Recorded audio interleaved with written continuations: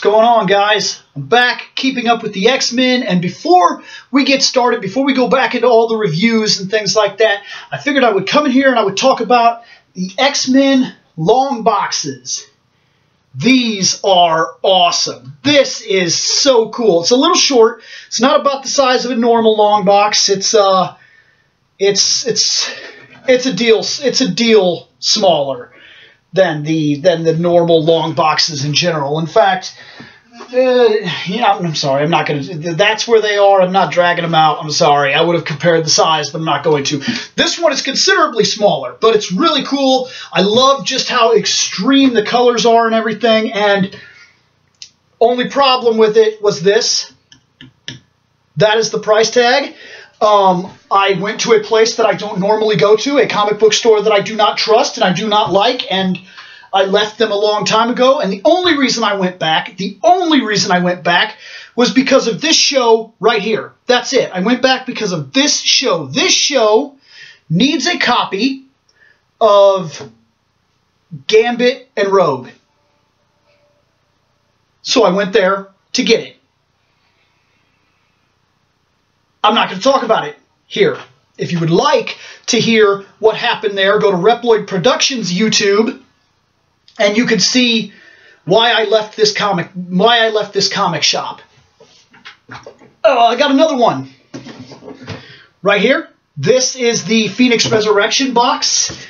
It is filled with awesome because, for one, I love this whole Phoenix Resurrection thing that's going on right now, and I love that. That is such a good image. It's such a strong image. And then I really like the one in the back here. This box is a little bit bigger.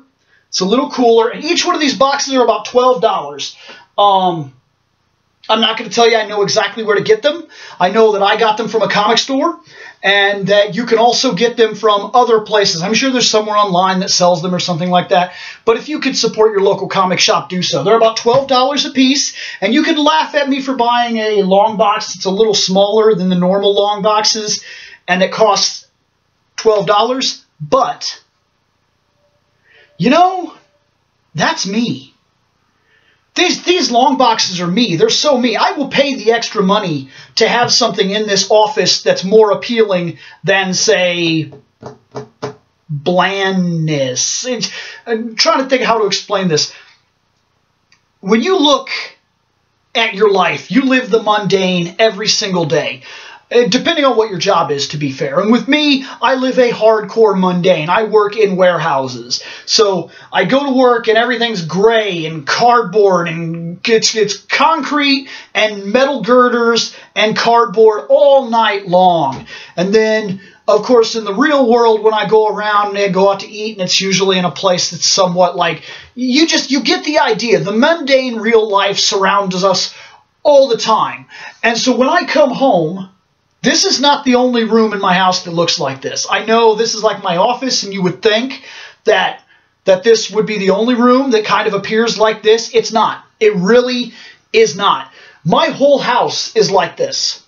It's it's Tifa Lockhart on the wall, and over here is that's not. But you get you get what I'm saying. Like like in here are pictures. But out there are pictures. Power Rangers are hung out up there. X-Men are hung out up there. All kinds of stuff is hung up around the house. And there's all kinds of collectibles and nice stuff that's just kind of placed all around the place and shelves, things on the walls and everything. And the reason for that is because when I come home, my house is my museum of myself. It is. It is everything that I love about the things that I'm into. It's fandom, it's video games, it's movies, it's merchandise, it's trinkets, it's stuff. I don't even have normal glasses. Like every glass that I have, that I drink out of, has uh, Harley Quinn, Storm, X Men, uh, Star Trek, all kinds of stuff, uh, Sailor Moon cups and things like that. All of it. All of it.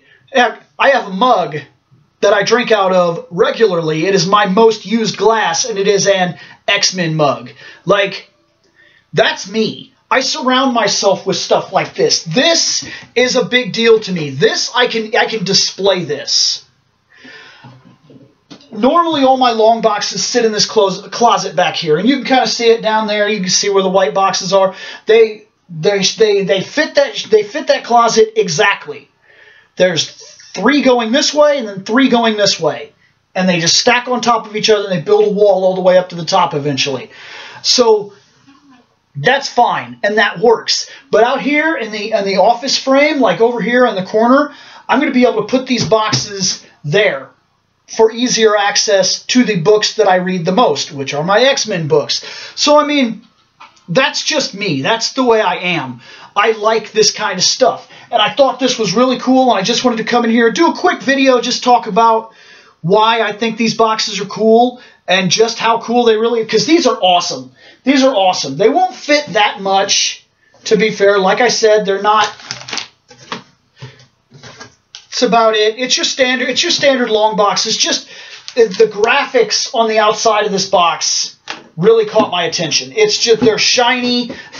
they're, they got the. I especially love this one. I do love my Phoenix one, but this this is so classic, guys. This is so classic X-Men. So hardcore, so awesome.